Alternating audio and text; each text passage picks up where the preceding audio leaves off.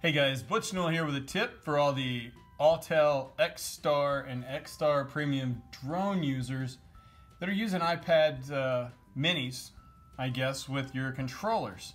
There's a new feature in iOS 11, which you may or may not have seen yet, but this is something that's going to be pretty cool, a little feature that you can do within iOS, nothing's jailbroken or, or anything like that.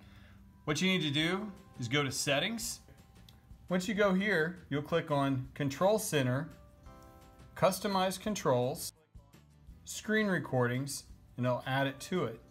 Now you can close this, go back to your main screen, then open your Starlink app. So what would happen in a normal situation if you wanted to, say from here, scroll up, and there is the icon that you would use to activate on-screen recording, and it counts down and now it's recording.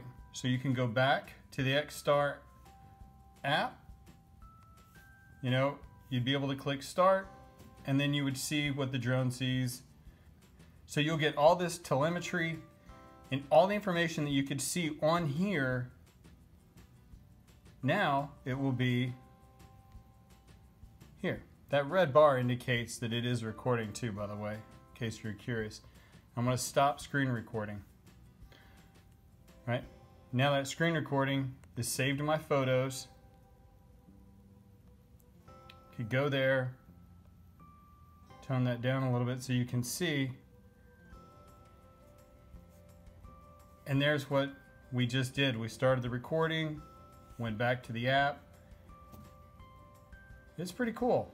So this is with the new iOS 11. I've been running the beta. I've flown the drone with this everything has worked great, no crashes, no issues. And uh, there's a little bit of video here that I'll put up that you can see how it's working. So everything worked as planned. As usual, thanks for watching. Do me a favor if you like the video, give it a thumbs up. Uh, more importantly, subscribe so you'll know when the next video goes live.